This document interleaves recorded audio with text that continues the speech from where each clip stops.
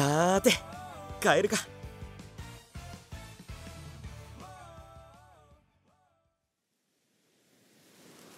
第5話過去を紡ぐもの。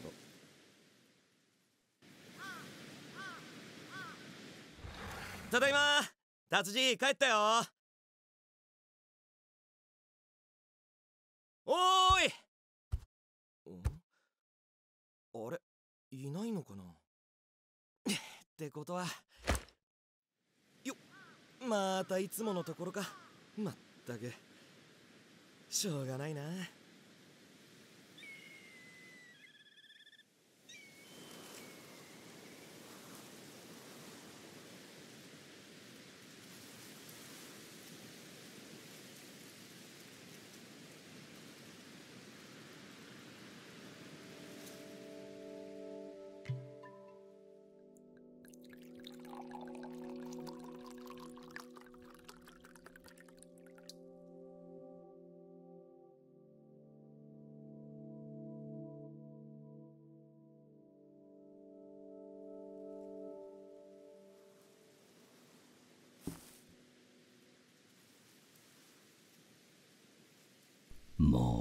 130年になるの。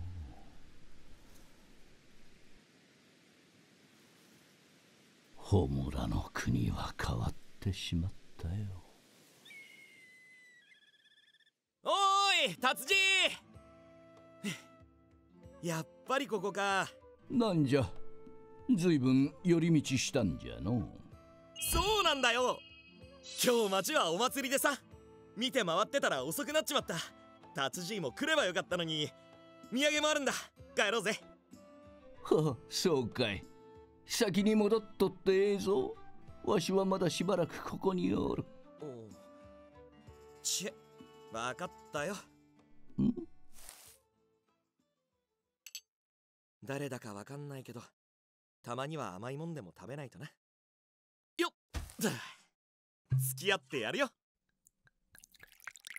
ほほほほお前というやつはおちおち黄昏てもおれんわなんだよなんでもないわいはあそれで今日は何があったんじゃあそれがさコウタっていう面白い子供と会ったんだよほう初めは触ったら折れてしまいそうだったのに最後には見違えるくらい強くなって一日でここまで成長するのかって思ったよ。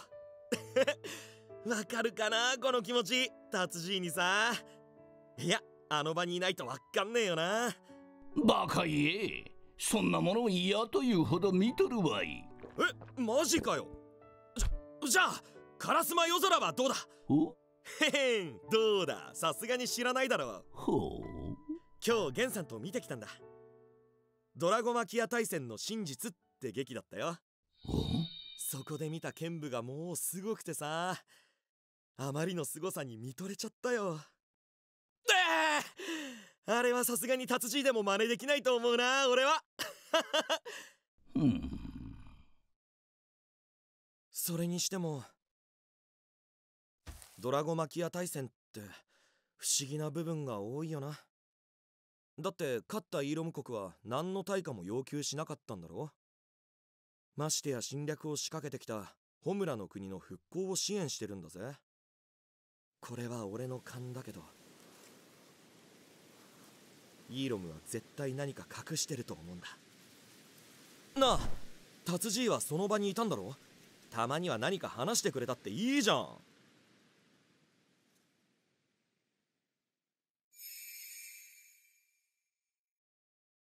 青と真実を知る覚悟はあるか？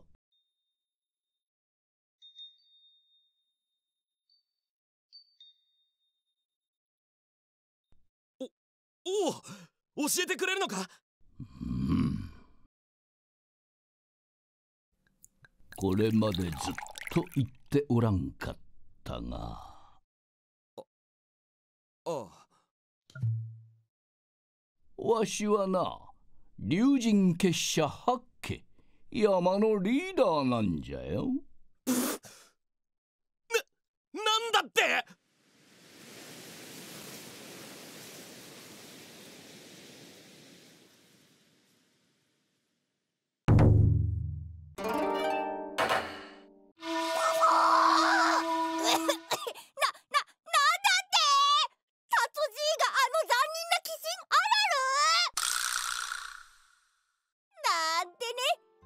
は最初から知ってたよ。なんでかって？そりゃあ見てきたからね。タツジーもようやく青とに昔のことを話す気になったのか。なんだか感慨深いものがあるな。これがノーストラリアってやつか。それにしても青とはドラゴマキア大戦の謎に気づき始めたようだね。とこれはまだ内緒だった。危ない危ない。みんなも青とみたいに普段から疑問を持つことが大事なんだよ。それが好奇心のもとにもなるからね。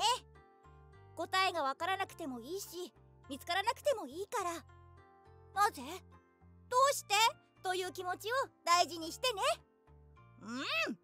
僕もたまにはいいこと言うじゃん。えっえさてさて次回の暁のカムイは？達爺の。秘められた過去に迫る。恐れられた鬼神。